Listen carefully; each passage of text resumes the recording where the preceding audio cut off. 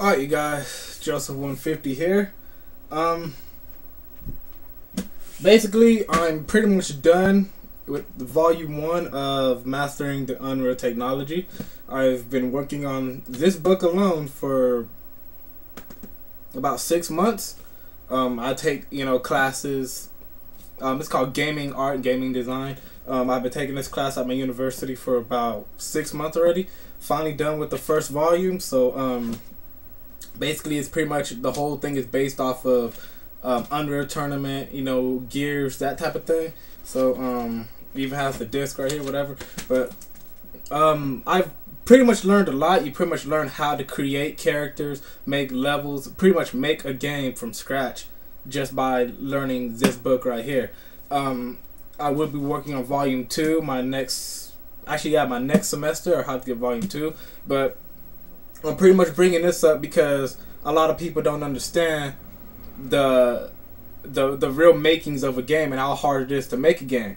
Regardless, um, me taking these classes for as long as I did, and I hope I passed. I mean, hope please be. I hope it be. But um, taking these classes, you know, uh, I got more respect for games that come out, regardless of whether or not they're shit or whether or not they're AAA titles, because I've realized that you know making you know uh, making a game it just takes so long. It takes years you know of experience basically except for movie games. Movie games movies games that are based off of movies oh, um, honestly straight up teacher told me this i mean it's all true. It takes what maybe five six months to make rather than uh, maybe arkham city to take a couple years. Movies that are based off of games you know are are are games based off of movies take about six months less than a year for sure. But I just kind of wanted to bring that up, basically. So um, that was pretty much about you know Icy Rhythms pretty much saying in his last video about how people don't understand what it's like to create a game and things like that. I know what it's like to create a game. Anyways, um, other than that, okay, um, I work at GameStop also. Um, so I'm pretty much working at GameStop, and this guy comes up to me. He wants to know about Zelda. Zelda Skyward Sword is coming out really, really soon. Don't remember the date whatever. I don't give it. I don't really don't care. But um, basically, I couldn't give him really give him too much about Skyward Sword just because. Uh, you know, it's. Uh, I mean, I have no no problem with Zelda, but I wasn't working in that department to where I'm supposed. You know, in that department, so I got one of my other guys to talk about Zelda and things like that. Because I'm more of an Xbox, PS3, you know, PC type of knowledge. You know, that's what I was hired for. But um, my issue it got me kind of thinking about the whole Zelda franchise.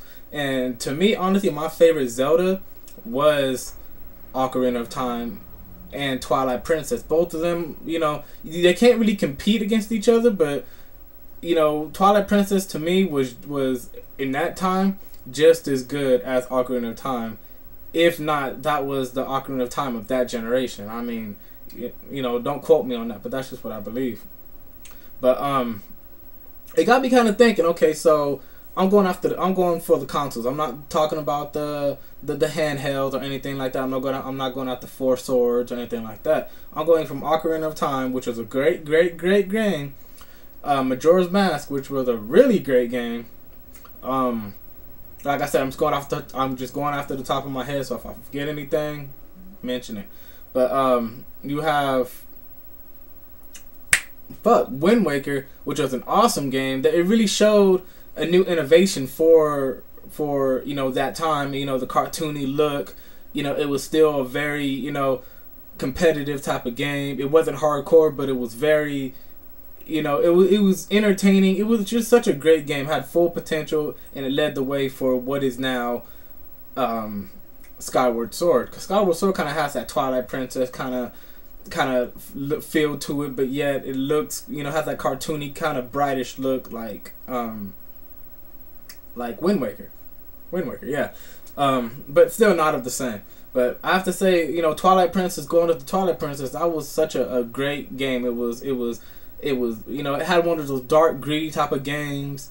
You know, um, of course Link never talks. You do this the game itself was just so epic. It was so awesome.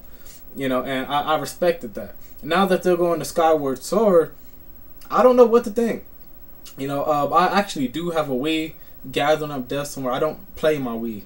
You know, I've had it um, a couple. I had a Wii first, when I first moved out here, I had a Wii first. Um, I didn't know which system get, so I chose a Wii. Had a Wii for a while, just for Super Smash Bros. Brawl and for Twilight Princess.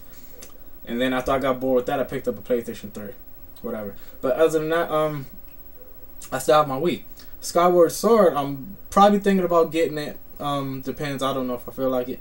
But um, I'm really looking forward to the game. But then again, I'm kind of not just because there are all kinds of other better games coming out that I, uh, I really want. I'm, I'm able to get all of them, but it's just I'm trying. You know, I'm trying to feel if if Zelda's really worth it. I mean, I'm a big Zelda fan.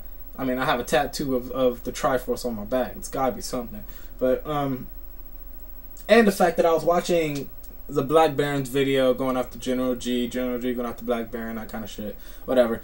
Um, I, I'm just, I'm just saying in general that you know, basically what I'm trying to say is is the Zelda franchise kind of declining because you have that Wii type of motion and I mean wouldn't you wouldn't you prefer it on the controller just have like the you know the the GameCube controller or whatever controller you're using and just kind of using your thumbs and slashing instead of standing up and doing this. I mean, there's so much awkwardness to it. You know, Twilight Princess had the option to switch from the GameCube controller to the to the Wiimote.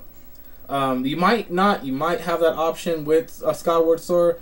Um, like I said, I'm not too big on the Wii, you know, but I'd rather not do this the whole time and stand up looking weird. I'd rather sit down, enjoy my game like I should, you know, eat some food while I'm playing, things like that. But that, like I said, that's just my little opinion. That's my little gripe about it. I was just curious: is is is Zelda, you know, is is Zelda Skyward Sword worth it? Out all these other great games, well, never mind. Never mind. This is Nintendo I'm talking about, huh? This is the only great game. Hmm.